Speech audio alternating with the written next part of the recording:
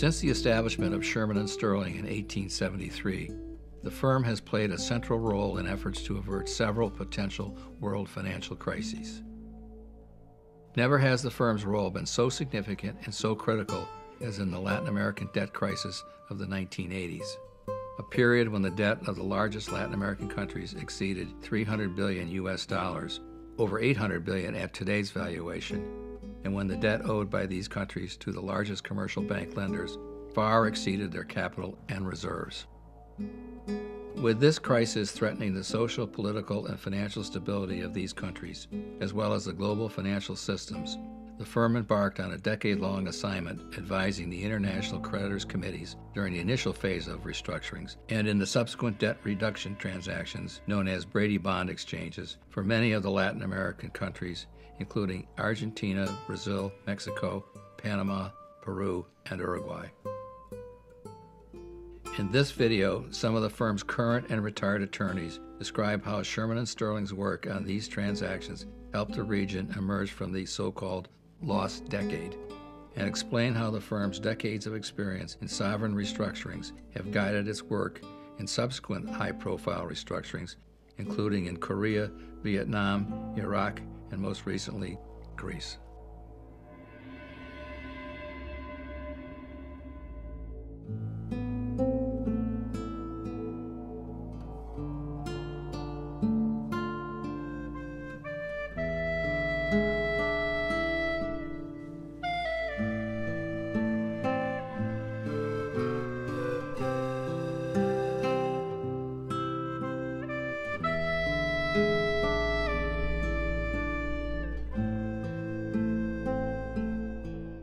By the early months of 1982, the danger flags were flying.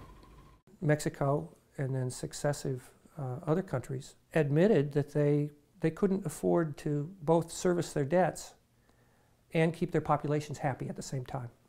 Officials from more than 100 of the world's largest banks emerged today from the New York Federal Reserve Bank after meeting to discuss the money Mexico owes those banks, about $80 billion. The problem is that half of it comes due within the next year, and Mexico can't pay it. We have been facing a liquidity problem, a cash problem. It starts out as, as a financial matter, and, but if the country's currency is reduced in value, uh, that means that you'll have a lot of unrest in the country because people just won't have enough to eat. Inflation shot up nearly 100% in 1982 alone.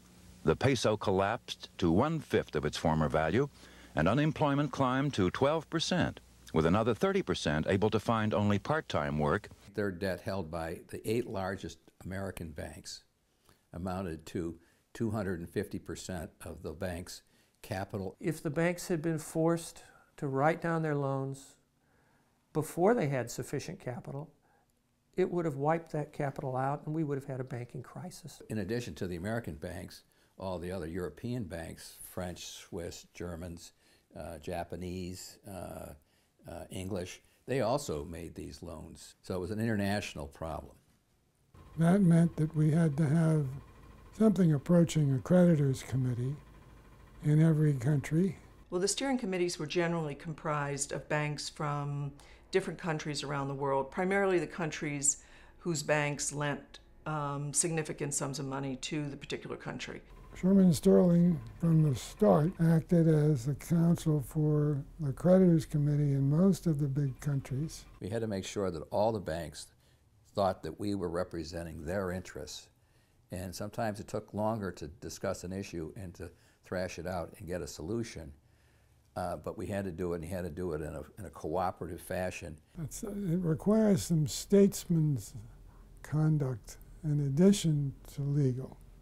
We had to come up with a structure to take into account the various different currencies, the various different maturities, the various different legal requirements for various uh, different banks. There were syndicated loan agreements, there were single bank agreements, there were agreements in Swiss francs and dollars and yen and Deutschmarks. When one realizes there were 750 creditor banks of Brazil, 500 of Mexico, 350 of Argentina, it's obvious there were many challenges to communicate with all banks globally. It was Shearman and Sterling's job to uh, quarterback the legal process. And that was a big job. They, the whole idea was to keep the system going while the banks build up reserves so that if something did go wrong in the end, they would not be bankrupt themselves. The external debt situation is highly political, and many of the reforms that the IMF imposed on a country were very unpopular domestically. So, when you're negotiating a sovereign debt restructuring, one has to be mindful of the impact it's going to have on the government as well as the citizens of the country. In many of the countries, however, the issue of sovereignty and sovereign immunity is important. It's an emotional term, as I suspect it is in, in all countries.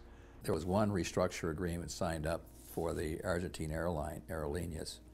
The head of the central bank signed it, and when he got off the plane from uh, the IMF meetings, he was arrested for treason uh, because he had given away sovereignty of the country of Argentina the decision of the court to arrest the central bank president had quite a chilling effect on the restructurings at the time in other countries as well. Fortunately, the court overturned the ruling, and the central bank president was released from prison. One of the other challenges in the restructuring process was once the agreements were finalized, the bankers actually traveled to New York to sign the restructuring agreements. The signings were enormous. We had uh, we signed the first Brazil um, transaction in the ballroom of the Plaza Hotel. People were told to come at 9 in the morning, line up, and sign the papers. We had 50 something legal assistants over there working this signing. After the first wave of restructuring, a small uh, secondary market of debt trading uh, began. Initially, it was intrabank, either small banks selling to exit the process or larger banks uh, rebalancing their portfolio. The big banks were the ones that had the, the problem. The smaller banks, for the most part, the bank in Iowa, for example, it, it just said, we're, forget it, we're not going to put up any more money. Uh, if somebody wants to buy our loan, we'll sell it to you at a discount or whatever it is. And they just basically got out of this whole system. As the restructurings progressed, the market increased dramatically. Eventually, the debt trading market grew to about 7 billion in 1986. Around 93, it was 270 billion.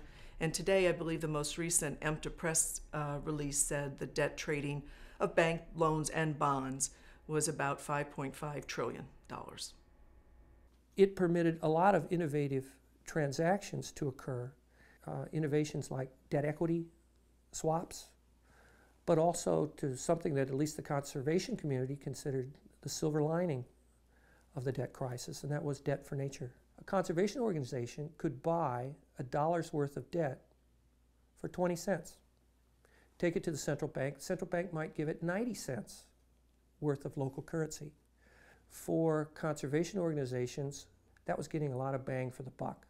It was very advantageous uh, for both the conservation community, but the country, in that external debt was further reduced, which in turn was invested in conservation projects in that country.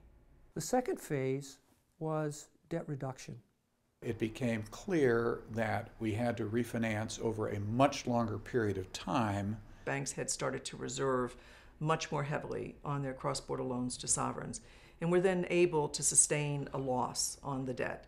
At the same time, Secretary Brady proposed um, the Brady transaction. Secretary Brady articulated its principles uh, in the early part of, of 1989, basically saying the time is right for a second phase. So the package was the bank would take its bank loans, it would, it would in effect surrender the bank loan claims in exchange for bonds collateralized bonds of a reduced principal amount, in some cases, that was called discount bonds, or bearing a concessionary interest rate, but having the same principal amount. Those were called par bonds. The menu of options allowed a bank to choose which of the two worked for them the best. It was really, I think, the beginning of the end of the debt crisis. I mean, the structures for all these Brady deals was, was basically the same. Once, once it went, went over for Mexico, doing it for Argentina and Brazil and the rest of the countries was accepted. And, they, and so that reduced a lot of principal, certainly eased up on the amount of interest that, that the countries had to pay. One of the differences in the Argentine Brady transaction was that, unlike Mexico, Argentina was $10 billion in arrears on interest. And the Brady transaction dealt with the, the stock of debt, the principal amount of debt owed by a country, not interest. So the challenge in Argentina was, and subsequently in Brazil, was to address uh, the interest arrearages.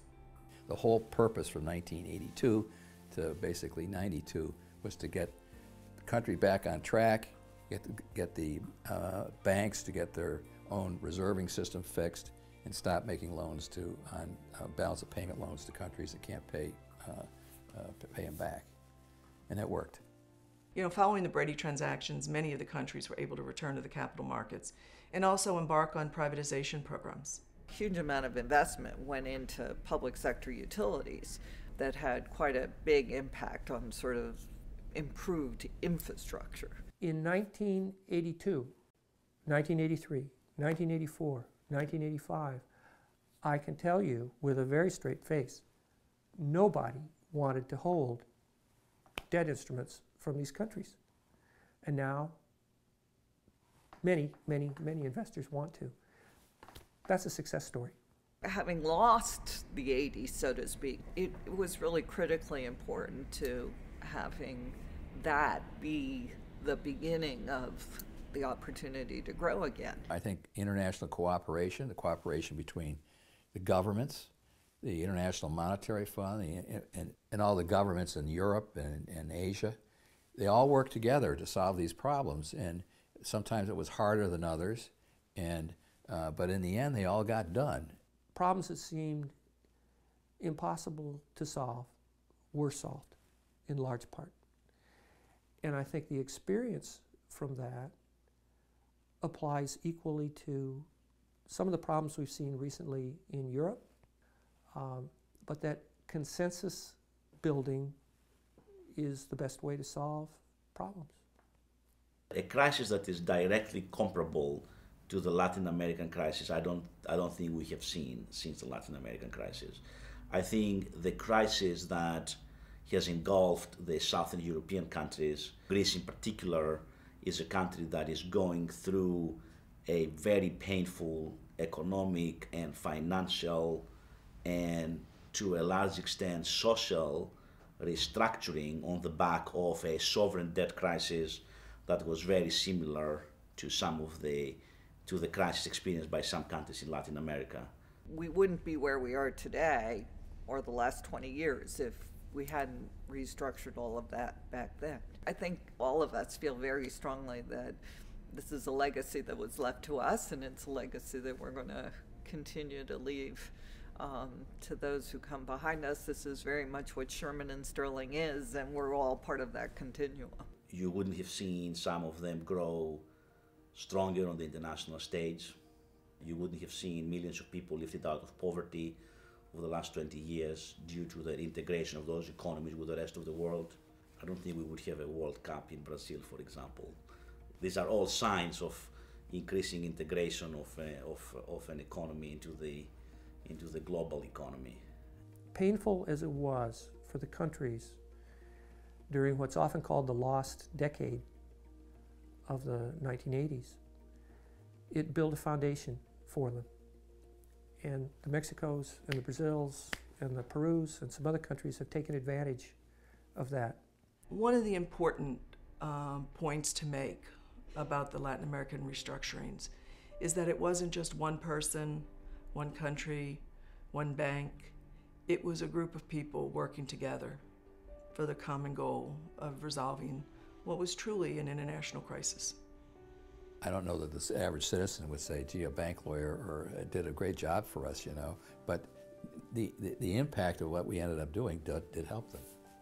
I don't know how many times uh, a firm or a group of lawyers or a lawyer gets to, is able to say truthfully that their work uh, resulted in the avoidance of what could have been a disastrous worldwide financial crisis. And I think we can say that.